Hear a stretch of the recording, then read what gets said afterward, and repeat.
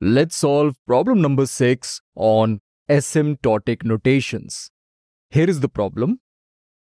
Let f and g be functions of natural numbers given by fn equal to n and gn equal to n square. Which of the following statements is or are true? These are all the statements available to us. We are required to find which of these statements is or are true. This means it is possible that multiple statements can be true. So now let's try to find out which of these statements is or are true. In the question, we are available with two functions f and g. These are functions defined on natural numbers. This means the inputs they will receive will be natural numbers. And of course, the output they will produce will also be natural numbers. Hence, these two functions are positive functions. Now, can we say f belongs to big O of g? Can we say f belongs to big omega of g? Can we say f belongs to small o of g or can we say f belongs to theta of g? We never saw something like this before, isn't so? We don't know what is the meaning of belongs to here. Here we have f belongs to big O of g. It seems like big O of g is some set and f is the element of that set. But we haven't saw something like this before. We know the definition of the big O notation. We saw fn equal to big O of gn, fn equal to big omega of gn, fn equal to small o of gn, fn equal to theta of gn. But we haven't saw something like this before. What does these statements mean? In order to solve this problem, we need to decode the meaning of these statements. So we will do this job first, and then it would be easier for us to solve this problem. So now let's take one statement at a time and let's try to decode it first. Let's dive into the solution and let's take statement A first. Can we say f belongs to big O of g? We first need to understand the meaning of belongs to here. For this, let's take the definition of the big O notation, which we are already familiar with. We know this is the definition of the big O notation. Fn is big O of Gn if and only if Fn is less than or equal to C times Gn for some C greater than 0 and for all values of n where n is greater than or equal to n naught. And of course, both C and n naught are constants. Here we can see we have Fn equal to big O of Gn. We are aware about this form. But we don't know what is the meaning of f belongs to big O of g. This is the simplified definition of the big O notation and this is not the actual definition. The actual definition is bit different. We use the simplified definition because it helps us in solving the problems easily. But now as the need arises, we need to consider the actual definition too. So now let's try to understand what is the actual definition of the big O notation. Here is the actual definition. Big O of Gn is equal to the set of all the functions fn such that there exist positive constants c and n naught such that fn is greater than or equal to 0 and fn is less than or equal to c times gn for all n greater than or equal to n naught. This is the actual definition of the big O notation. Here, big O of Gn is represented as the set of all the functions satisfying this condition. According to this condition, fn must be a positive function because fn must be greater than or equal to 0. Also, fn must be less than or equal to c times gn, which is same as the definition which we saw earlier, that is the simplified definition. There also the same condition we saw. Fn less than or equal to c times gn. Here also we have the same condition. This is the definition of the big O notation only, but the representation is different. Here we are representing big O of Gn as the set of all the functions satisfying this condition. This means big O of Gn must be the set of all the functions which are asymptotically lesser or equal to Gn. How can we relate this definition to the simplified definition? Let's try to understand this. When we say Fn is equal to big O of Gn, we mean that Fn must be either asymptotically lesser or equal to Gn. Let's say Fn is n square and Gn is n cube. Can we say Fn is big O of Gn? Yes, n square is asymptotically lesser than n cube. Therefore, we can say n square is big O of Gn.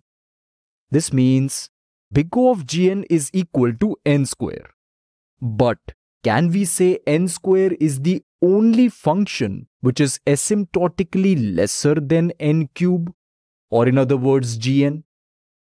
No, right? We have many functions which are asymptotically lesser or equal to n cube.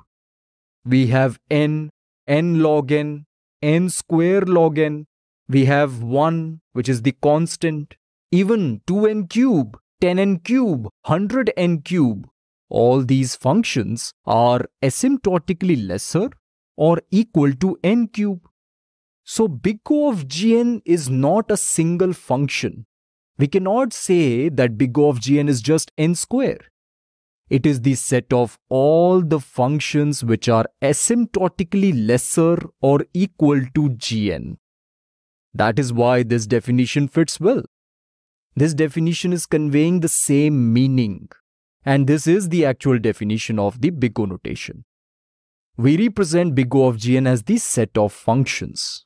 It is not just a single function, but the simplified definition helps us understand the big O notation better and most of the times we need the simplified definition only, but for this question, it is important to understand this actual definition. That's why I brought this into the picture. So now we know the actual definition, we are ready to solve this problem properly. Can we say f belongs to big O of g? First of all, I want to make this clear that if we are saying f belongs to big O of g, it is same as saying Fn belongs to big O of Gn. Here, input n is not mentioned, that is the only difference. In the question, we are given two functions f and g and they are functions defined on natural numbers. These are the functions fn equal to n and gn equal to n square. So it is clear that n must be the input to these two functions. And hence we can assume that n is the input here and fn belongs to big O of gn is the statement. Now we are ready to find out whether fn which is equal to n belongs to big O of gn or not. We know that fn is n and gn is n square. Let's apply the actual definition of the big O notation and let's define big O of gn. We are available with gn, gn is n square. We can easily define big O of gn as well. Big O of gn is the set of all the functions which are asymptotically lesser or equal to gn. This is the big O of gn for gn equal to n square. Here we can observe these are all the functions which belongs to this set and these three dots represent that there are more such functions. I cannot accommodate those functions here. Here we have n within this set. Why? Because n is asymptotically lesser than n square. What about n square? n square is asymptotically equal to n square. Similarly, n power 1.9 belongs to this set because n power 1.9 is asymptotically lesser than n square. Similarly, n log n is asymptotically lesser than n square. That's why n log n belongs to this set. Now can we say fn which is n belongs to this set? Yes, we just saw that n belongs to this set. Hence we can say fn belongs to big O of gn. Or in other words, if we are going with this statement, then we can say f belongs to big O of g. And hence, statement A is correct. But we cannot stop here. According to the question, it might be possible that there are multiple statements correct. So let's move to statement B as well and let's identify whether this statement is correct or not. Here we have f belongs to big omega of g. Can we say this statement is correct? We know fn is n and gn is n square. But how do we write big omega of gn? Big omega of gn is the set of all the functions which are asymptotically greater or equal to gn. In case of big O notation, we know big O of gn is the set of all the functions which are asymptotically lesser or equal to gn. Here also, we can use the condition of the big omega notation which we are already familiar with. So we can say big omega of gn is the set of all the functions which are asymptotically bigger or equal to gn. So big omega of gn is this set. Here we can see n square belongs to this set because n square is asymptotically equal to gn which is n square.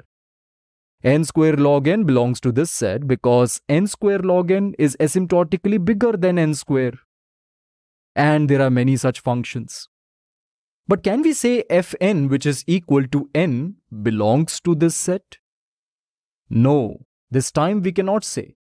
Because n is asymptotically lesser than n square. It is not greater or equal to n square. And hence we can say fn which is equal to n does not belongs to big omega of gn. Therefore, f does not belongs to big omega of g. And hence this statement is not correct. We cannot say that f belongs to big omega of g. Now let's move to the next statement. Can we say f belongs to small o of g? In case of small o notation, fn can only be asymptotically lesser than gn. Therefore, small o of gn is the set of all the functions which are asymptotically lesser than gn. So, this is small o of gn. This is the set. Here we have n because n is strictly less than n square. We have n log n because n log n is strictly less than n square. We have 1 belongs to this set because 1 is less than n square. So these are all the functions of small o of gn. Can we say fn which is equal to n belongs to this set?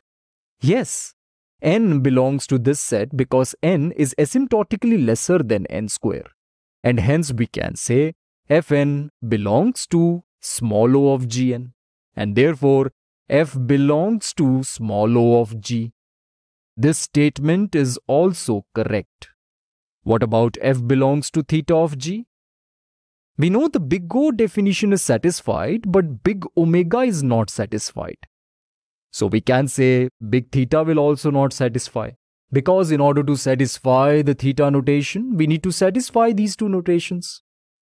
But let's try to prove this mathematically as well. Here we want to show that f belongs to theta of g. Let's find out whether this is the case or not. According to the theta notation, theta of gn will be the set of all the functions which are asymptotically equal to gn. That's what the theta notation says. So theta of gn is this set containing all the functions which are asymptotically equal to n square. 2n square is asymptotically equal to n square. 10n square is asymptotically equal to n square. And there are many such functions which belongs to this set. But n does not belongs to this set. This means fn does not belongs to this set. And hence we can say fn does not belongs to theta of gn. Therefore, f does not belongs to theta of g. So this statement is false. So with this, we found that statement A and statement C are the correct statements, statement B and statement D are not. I hope you now got how to solve these type of problems. So with this, we are done with this problem and we are done with this presentation. Okay friends, This is it for now. Thank you for watching this presentation. I will see you in the next one.